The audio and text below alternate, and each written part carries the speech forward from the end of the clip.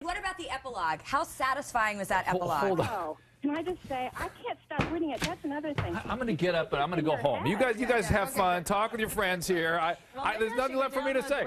I, I read the 50 pages of the book. I got, I got nothing. I read 100 book pages. I one got To nothing. book two to book three is an amazing love story. Oh, like please, I want my time back for the time I've already spent on this book. Screwed up and a sexually innocent girl, and it's it's like it's, It's- like there's someone for everybody. They are no. perfect. That is that is this, is why I, I'm- have to listen on Loveline every night to these girls calling in with these sociopathic, uh, narcissistic, brooding, abusive guys that they're going to convert. Right. He's. I have a special. I have a question. I can specially see something in him. conversation. In this in this case, what we're talking about is you have no place entering my fantasy world. right.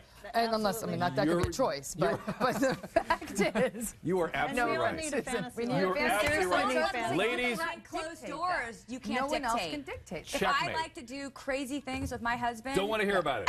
checkmate, checkmate, checkmate, checkmate.